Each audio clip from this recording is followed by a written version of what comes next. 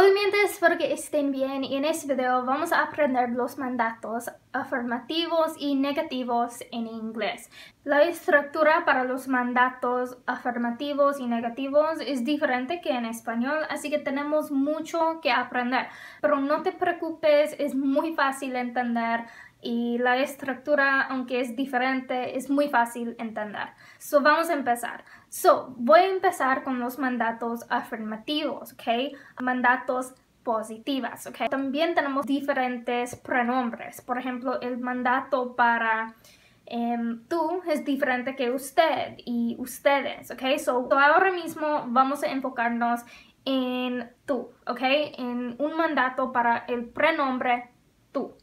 Ejemplo, tenemos ven aquí, que significa come here. La manera que formamos un mandato es tener el infinitivo, right? So, un infinitivo es to plus un verbo.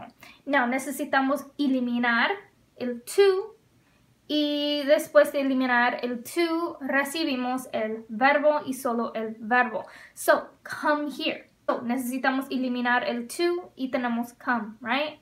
So come here, ven aquí. También tenemos haz la cama, right? Make the bed. So tenemos el infinitivo to make. Tenemos que eliminar to y tenemos make.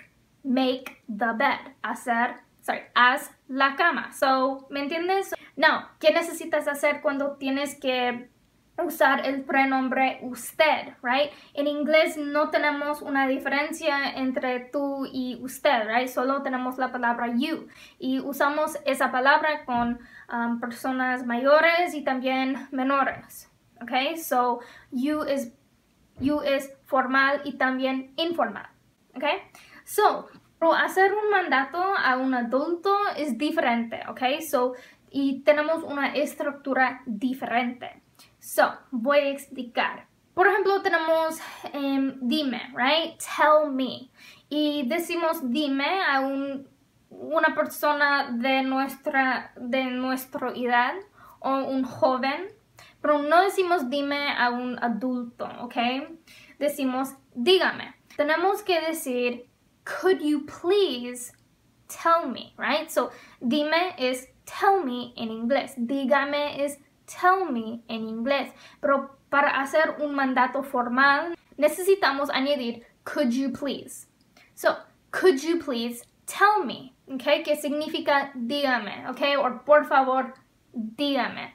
Um, en español no tenemos que decir por favor, dígame, porque ya tenemos un, una conjugación para el pronombre um, usted o un mandato formal, pero en inglés tenemos que añadir could you please en frente de un mandato para una persona como un adulto, ¿ok?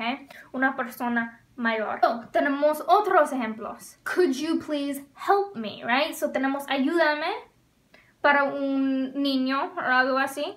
Tenemos ayúdeme para un adulto. Y en inglés tenemos could you please help me. ¿Me entiendes? So, tenemos la palabra help me. Tenemos que eliminar el to y tenemos help. Help me. Ayúdame. Ayúdeme. ¿Me entiendes? Um, otro ejemplo. Come here, right? Ven aquí. Venga aquí. Come here. Tenemos el verbo. To come. Tenemos er, el infinitivo to come. tenemos que eliminar el to y tenemos come, right? Y añadimos here, que significa aquí. ¿Ok? Son muy fácil de entender. ¿Y qué necesitamos hacer cuando tenemos que hacer un mandato a un, a un grupo de personas, right? So podemos decir ustedes en español y y'all or you guys en inglés. Now, yo vivo en el sur de los Estados Unidos, así que usamos y'all para decir you all or ustedes. So, you all or y'all um, significa ustedes. ¿Ok? So, para hacer un mandato a un grupo de personas, tenemos que decir, could y'all please, y el verbo, el mandato, ¿ok? So, could y'all please help me? Right? So, es la misma estructura. Para hacer un mandato a un adulto, tenemos que usar could you please, right? Y para hacer un mandato a un grupo de personas tenemos que decir could y'all please. So la única diferencia es el pronombre. You versus y'all or you guys, right? So, could y'all please help me? Could y'all please tell me? Could y'all please set the table?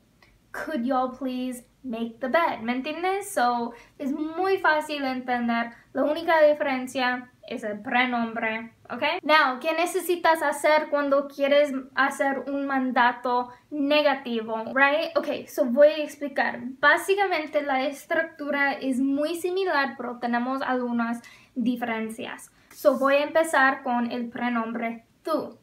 Ok, so tenemos tell me, right? Dime. Un ejemplo.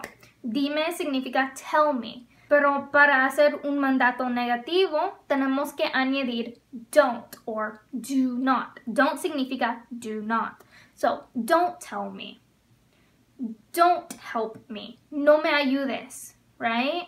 No me digas, okay? So, no me digas significa don't tell me. No me ayudes significa don't help me. Do not help me. So, solo tenemos que añadir do not en frente del mandato afirmativo. ¿Ok? Eso es muy fácil de entender. ¿Y qué necesitamos hacer cuando tenemos que hablar a un adulto? Right? En español tenemos el prenombre usted, pero en inglés no tenemos una palabra para usted, solo tenemos you. So, para hacer un mandato formal, un mandato negativo que es formal, tenemos que decir could you please not y el verbo. Could you please not tell me, right? No me diga, right? Or no me diga, por favor. Tenemos que añadir please, que significa por favor, porque no tenemos un mandato, porque no tenemos un tiempo formal. Remember, no tenemos usted. So tenemos que añadir please. Could you please not tell me? No me diga. Could you please not help? Okay, eso es muy fácil de entender. Um, otro mandato, right? In, um, para la forma tú decimos no llores, no llore, right? Y en inglés decimos could you not cry or please don't cry. Okay? So tienes que añadir please don't or could you please. Depende del contexto y qué quieres decir. Okay? Y cuando tienes que hablar a un grupo de personas, decimos ustedes en, español, pero en inglés decimos y'all or you guys. Um, una, una, cosa, una vez más, yo digo y'all porque vivo en el sur de los Estados Unidos. So, could y'all please not? Y el verbo. Could y'all please not speak? Please don't speak. Right? So, puedes decir, could y'all please not y el verbo or puedes, o puedes decir please don't y el verbo, ¿ok? Eso es muy fácil de entender. Si tienes una pregunta, dime en los comentarios y voy a responder. Um, pero sí, es muy importante saber los diferentes mandatos en inglés. Um, espero que te ayude y gracias por ver este video y adiós.